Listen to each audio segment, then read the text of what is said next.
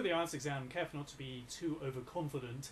Uh, even if you think you're going to pass very easily, just be extremely careful. You don't want to risk losing by uh, one mark in in regards to achieving your goal, um, and then having to spend more money and uh, use more time again to retake the exam.